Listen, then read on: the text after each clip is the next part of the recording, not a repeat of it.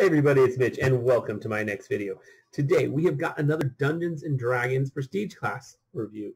And today from the Expanded Psionics Handbook, we got our buddy, the Elocater.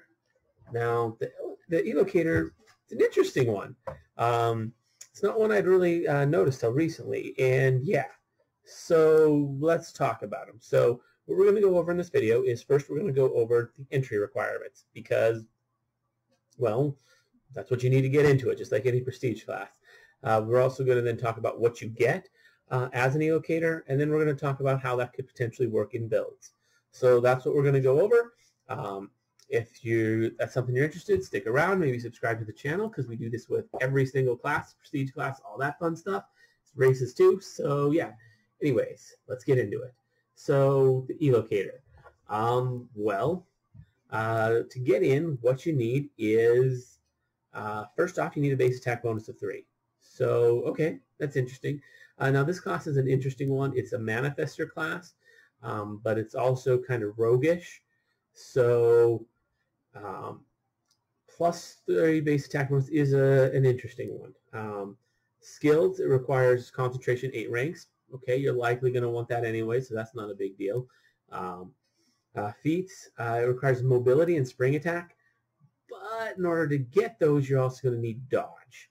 So yeah, I mean, you might be able to get away with it with like, um, you know, another feat to replace dodge, or if you can find class features, uh, classes that give you these feats uh, without requiring dodge. Okay, that works too, since you don't technically need dodge, but you're probably going to need to take dodge. Um, and psionics, you're going to need to be able to manifest first level powers. So not a big deal. And you're going to want that last one anyways. This class is pretty much useless without that. Um, so let's get into, so that goes over what it takes to become one. Um, personally, the ways to get in would be like maybe a Psion or perhaps a Wilder. Um, you know, grab like six levels of that. Um, um, in order to get that base attack bonus. I guess you only need five with uh, the Wilder. Um, might be able to get the base attack earlier, but you need at least five levels to get that concentration anyway, so yeah. Um, you could also go with Psychic Warrior. That'll get you there um, pretty decently as well. Um, it's not a full manifester though, so Psychic Warrior's it's an okay option, but, mm, but we'll, we'll get into that in a sec. Um, so let's look at what they get. So they have a d6 hit dice, not bad. Um, in terms of skills, they have a very large skill list in 6 plus int. They're very roguelike. Um, now, for weapon and armor proficiency, they're proficient with uh, all simple and uh, martial weapons uh, and with light armor, so that's pretty good. Um, so you do gain some weapon and armor proficiency, um, which is very useful if you're like as a psion jumping into this. This is a good way to gain those proficiencies if you wanted them um, and just with one level of dip, not not bad. Um, although whether you go just one level or multiple kind of varies. Um, so powers known basically at um, well, you're going to get at every two uh, two out of three levels you'll gain it. So basically, if you look at it, you uh, in a block of three, you'll gain uh, powers known, not gain powers known, gain powers known. Then you reset and then gain known. So you know, levels four and five are both going to gain you powers. Uh, sorry, not four and five, three and four. My bad. Not bad. So yeah, three and four, five won't. Um, but yeah, um, so over the course of the ten levels that you get in this, you know, that'll get you a nice solid seven. Um, there's only going to be three levels that you don't, uh, two, five, and uh, eight. So yeah. So that's pretty nice that it does advance your casting class, which for that reason it's better to go with a full manifester just because if you're doing a partial manifester like the Psychic Warrior, you're not going to gain um, as much from that part. Well, Psychic Warrior is still a decent option. Uh, so let's look at the next thing. So next up you get Scorn Earth, and this is at first level, uh, which you also get manifesting at at first level.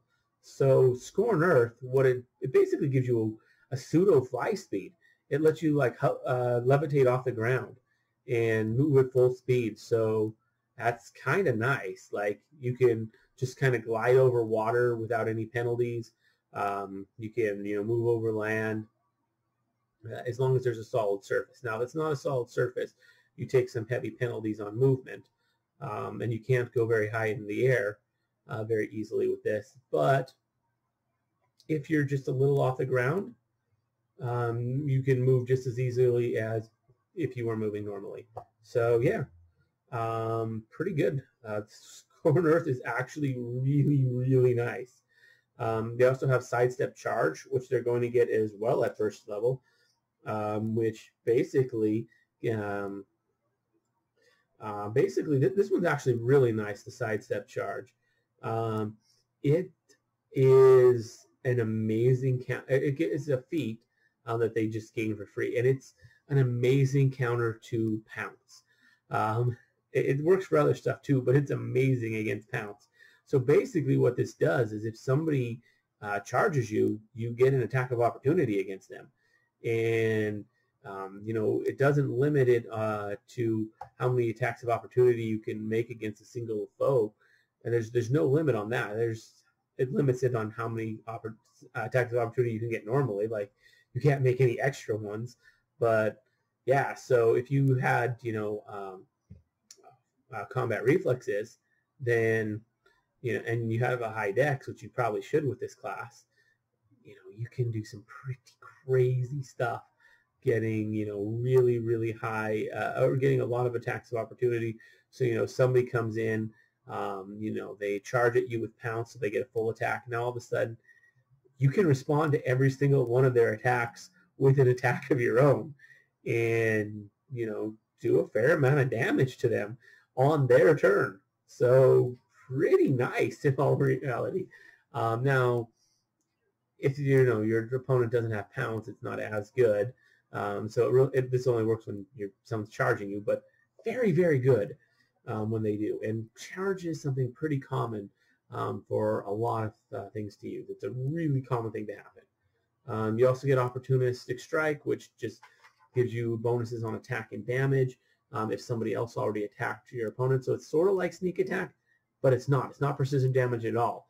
You're not actually doing uh, any sort of like extra damage. It's uh, a bonus to your attack. So um, yeah, it's, it's it's just a bonus to your attack. Now, this bonus, you know, doesn't stack with everything. Um, so uh, it's an insight bonus. So yeah, so I had to look that up for a sec. Uh, I know you guys hate it when I read, um, but uh, read of these. But yeah, it's an insight bonus. So that won't stack with all other insight bonuses, but or any other insight bonuses. You know, same types don't stack, but you know, still not bad. And it base and you know, assuming you don't have other insight bonuses, this is impossible ah, sorry, I had to sneeze there. uh, anyways, um, it's impossible to uh, be immune to because, well, it's not extra damage. It's it's just not extra damage. It's a bonus to your attacking damage. So yeah, uh, you also gain a Dimension Step, which is basically just a psionic version of Dimension Door. Um, you gain that at third level. Uh, and Opportunity Strike is at second. Uh, you gain, at fourth level, you'll gain Flanker, which is actually a pretty nice little ability. Um, basically, what that'll let you do is it'll let you uh, consider you, uh, basically, you can, during your turn, choose a square to consider yourself to be in that's adjacent to yours. So any of the eight squares surrounding you, or you can just not use it if you want. So now you have nine squares to pick from um, that you're in. Um, and any of those squares you're you are in, even though you're not, um, in terms of flanking. So um, you can use that to try and you know help your allies out. It can even work like um, you know maybe your opponent set them up so they can't be flanked, like they have their back against the wall. Uh, well, you know, you just walk, you know, to the side and then use flanker, and boom, uh, now they can now now that now they can be flanked. Um, so very useful for setting up a flank for your allies. Um, yeah, really, really nice. Um, they also get transporter, um, which basically just means they get uh, um, psionic teleport and psionic plane shift um, as powers for free. Like that, that's all it is. They just get to add those two powers to their uh, powers known list, uh, which if you're a wilder is amazing because they have very limited powers. So um, they can suddenly just put that on there. Um, you know, if you're a Psion, it's still pretty nice. Their powers are somewhat limited. Um, Psychic Warrior, it's, like it's useful regardless of which class you do, um, but very nice. Um, Transporter, well, that's one I just talked about. Uh, Capricious Step. Uh, this one's actually pretty nice. So they can take a second five-foot step in the same turn. So it's not a ten, uh, so I've seen other ones where you say you can take a 10-foot step. Um, this is better because you I mean you can take a 10 foot step, you can take two five foot steps, one right after the other, which amounts to a 10 foot step. But um, this one is two separate ones, which means although you have the option for that, you also have the option to five foot step, attack, then five foot step back. So uh, what you can do with this is if your opponent is, you know, uh, a little ways in front of you, you can five foot step up to meet them, uh, attack, so uh, now that you're in range, then five foot step back, and now you're good. Like that, that's all there is to it. That works um, really well um, if your opponent's uh, smaller than you. Um, if they're the same size, I'm sure there's ways to make that work as well. Um, like uh, every other turn, you could at least get away with it because I know sometimes, like when people are retreating, they'll, you know, five foot step back, uh, attack, five foot step back, and then you five foot step back, uh, five foot step forward and attack. Well, um, you know, you can do that a little faster. You can, uh, if you were retreating, you know, you can attack and then two five foot steps back, and now your opponent has to, you know, close the gap a little bit more. Um, they're not going to be able to full attack you, even though you full attacked them. Uh, so that's nice. Um, and you can do that every turn, like while you're retreating. Um, if someone's retreating from you, um, you know, you can, you know, five foot step, uh, and then uh, you can like more than five foot step. You can like try and move to the corners to try and pin them in a little bit, make it a little harder for them to retreat.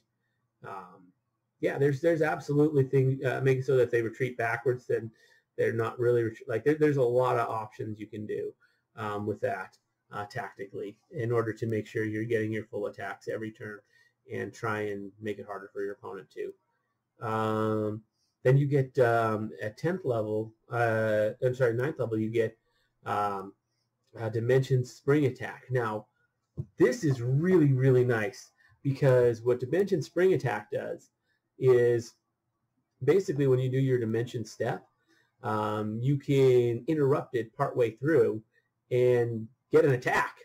So you can dimension step part of the way, attack, and then dimension step the rest of the way, and that's all there is to it. Like, it doesn't provoke attack. It's like basically you're combining spring attack with your dimension step, and you're using the two together, which is really nice. You can use that to uh, pot shot an enemy. Um, you can use it to you know attack some far off enemy that's just like taking pot shots at you um, and you know then get back to the battle. Uh, now I I believe you can only use this like uh, you can't use this very often. I think it's like once per day that you can use Dimension Step at all. Or but you know it's still nice being able to do it. So pretty good. Um, now the last thing you get at 10th level. This is one of the best things. Scorn Earth at first is also one of the best, but uh, the thing at 10th level is probably the best thing you get. Um, although, you know, for 10 level investment, um, that makes it a little less good, um, but still pretty well worth it. Um, let's be real. This is a pretty good class. Um, so you get accelerated action, which effectively gives you a haste effect, but it's a little better. Now, you can't use this while hasted, so that is a little bit of a downside, uh, even though this is better. So um, try not to be hasted when you do this because uh, haste will actually prevent you from using this, which is unfortunate um, because it gives you pretty much all the same benefits of haste, but instead of letting, uh, but you can choose to, instead of doing the extra attack with haste, to just use an extra power. Um, yeah, it, it basically take an extra standard action to uh, cast a, to manifest another power. Um, so yeah, again, you can use an extra power each turn. Pretty nice. Now you can only do this for five, I think it's five rounds a day, um, which is limited, uh, very limited, but you can, you know, use it any round you want. So very, very nice. Now, Uh, so that's pretty much all they get, which is a lot. Let's be real. Like this is a good class. Um, so, oh yeah, I didn't fully mention everything. So the um, average base attack bonus and um, uh, what is it? Uh, good reflex and will save, bad fort save. So okay. Um, so when would this build work? This build could work well with a Psychic Warrior for sure, um, potentially with just a one level dip, or although you can go the full 10 um, just to get that Scorn Earth uh, without really losing too much. Um, not really a bad option. Um, you could always just do a one level dip with any sort of uh, psionic class, but you could also do the full 10 and get that you know accelerated action, which is pretty nice. And it's not like you're spending all these levels just to get accelerated action. You're getting some decent stuff along the way. Like, I mean, uh, sidestep charge is really nice, although that's, again, only, that's at first level. So, you know, still with the one level dip. Uh, opportunistic strike, useful, getting that extra damage, um, assuming you don't already have um, insight um, bonuses. Uh, dimension step can be nice. It's limited in how often you can use it, but still pretty good. Uh, flanker, uh, very useful flanker, um, especially if you have like a rogue in the party. You can set up some pretty nice stuff with that. Um, transporter, getting those extra powers, always good. These are some of the better powers to grab too, and some of the harder to get ones. Um, because uh, I think you they're typically just on the um, uh, on one uh, type of uh, Psion discipline uh, list. So yeah, you have to be like a particular discipline of Psion to get them usually, but you can grab these with this. Um, capricious Step, very nice. Um, being able to take that extra five foot step uh, every turn, um, that you can take a five foot step, really, really nice. And um, uh, dimensional spring attack, super, super useful. Again, can't use it very often. Uh, it's very limited in how often you can do it, but still good, still really good and Excel. So yeah, there's like a million, a million different things. Like this is a great thing to put on. Um, you know, if you wanted to do like a Psion uh, or a Wilder, you could throw this in there. So some of the problems with Psion doing this is, you know, you're not, Psions aren't really heavy combat you know, combatants. They're not the best with wielding weapons. Um, but this could make them a bit better. And uh, yeah, could give them some some uses. Um, particular, then there might be some good psionic powers to, you know, that help with that. Psychic Warrior could be very useful, especially with a single level dip. Uh, Wilder uh, actually could be quite useful as well. It really depends, um, but if you want to add like a roguish um, element to your build or something where you can like get places really fast, great, great prestige class. Highly recommend it. Um, so yeah, uh, let me know what you guys think in the comments below. Love hearing from you guys. Respond to every comment. Um, and uh, consider giving this video a like. That really helps out. Um, you know, just let me know you like it. Subscribe to the channel because we got way more of these coming. Uh, and as always, I'm Mitch, and I'll be seeing you